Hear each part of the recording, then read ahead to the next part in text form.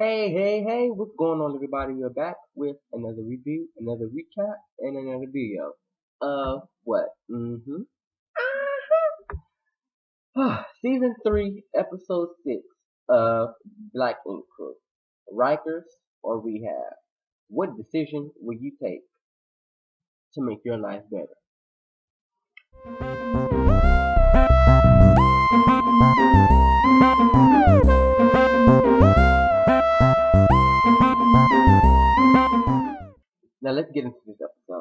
A lot to discuss and a lot to talk about, but it really wasn't a lot in this episode, basically because of the decision between oh shit and what he need, needed to make. So we're gonna get into this recap. May not be too long. I don't have a lot to say about this episode, but some words for oh shit towards the end. So with that being said, we're gonna get into this review in this episode and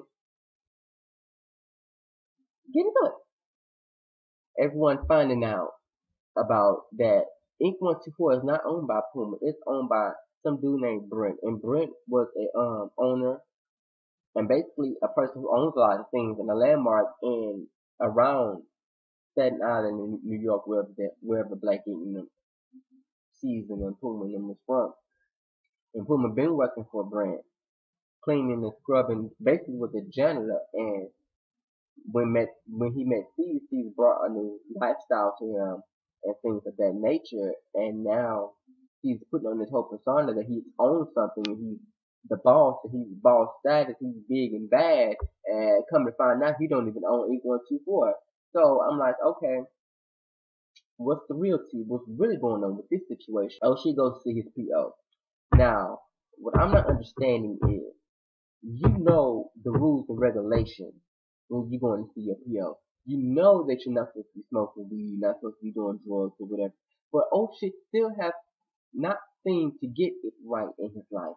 He still is childish, he still has a childlike mentality, he's still selfish, he's still stupid, he's still ignorant. I just don't know what it would take for him to get it right. You have people in your corner who care about you, you got kids who's depending on you, you have a career and and you have a wife and you still can't get it right, like I, I'm not even gonna give you the energy right now so you can go in, but I just hope and pray that you get it right, you get it together, and you choose the right choice to either go to jail and be another statistic of a black African American African American male, or you go to rehab and Fix your life, fix your problems, come to the root of it, marry Anya, take care of your kids, and have a damn career.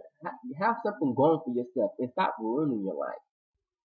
They goes and takes the P test, and first of all, he comes to the P. Oh, late as hell, and they, they are already pissed off that he's late. And then you're gonna come there and lie too, and then your P is your P. You fail your P test, so and that you know they make the decision like, okay, mhm, so this is what we're gonna do.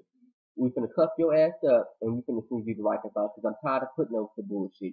I'm tired of you coming here late. Last time you came here, you came here with crack. We got you off. Now you come in, you fail your P test, you come in late and you lie. I'm like, okay, oh, oh, I would, I wouldn't even gave him another chance. I'm sorry. His ass would have went to, I would have cuffed him up. He would have been in Rikers Island and he would have been there for a very long period of time because obviously it's just not getting to his brain that he does not get it. And I really think that old shit has a few screws loose. I don't, really don't think he has it all. I really don't. But anyway, they call Anya. I'm going to finish the storyline. They call Anya. Anya didn't know that he even had crack on him the last time he seen his PO. And she didn't even know anything about the drug situation. So she's pissed off. She's crying, but they give him a decision. Rikers Island or rehab. You make the choice. He made the choice to go to rehab. So I hope that he did not just make that choice so he won't have to go to jail. I hope he makes this choice, take advantage of it, and get himself clean. Because addiction is nothing to play with, and obviously he does not get that. He does not understand that. But anyway, and Teddy talk about the situation at hand, how um seasons changed, how him and Dutchess back together, and how you know he feels that he's entitled to do this and that, and about the situation at hand. And I'm just here like, whatever. Teddy talks to Steve. Steve is not liking the situation between Puma and Teddy. Does not want Teddy talking to him. Thinking that he does he's not loyal. He's tired of Steve. he's tired of Puma. He doesn't want anything to do with him. He does not want Steve. He don't even want Teddy even speaking to him. Teddy's like, you know, you, I'm a grown ass man. Like, you can't tell me who to talk to and who to vibe with and things like that. And he's like, if you really think that me talking to Puma is fraudulent, then I really question what type of person you really is. Steve gets out and that that, that situation of family really will come into uh, end. So I really want to know how that's going to play out, but we will see when that situation takes place. Oh shit talks to the girl he's been scoring, and she's talking about um, she's crying like I don't want you to leave. He tells her that he's gonna go into rehab, she starts crying. And it's like me and me and Oshik has a, a mental relationship, and we have a very good bond and things of that nature, and this and that. Somebody, It's more than the sexual. So you screwing this man, and you know this man is engaged. What what what type of newfangled hoe are you? Like you know this man have a whole fiance at home. He has kids, and you screwing him. So uh, next week or whenever that situation is, when you get that drink thrown in your face, and hopefully it threw the glass in your face, whatever it cuts, whatever she did, you deserve it because you know damn well that man has a. And you should know. You should have some type of um. About, you should have some type of respect about yourself. To know not to a man like oh shit. Anyway, but anyway, you deserve. It. And I'm I'm just like I'm just not understanding no shit. You telling her stuff that you're not even tell, you're not even telling your soon to be wife Really? So,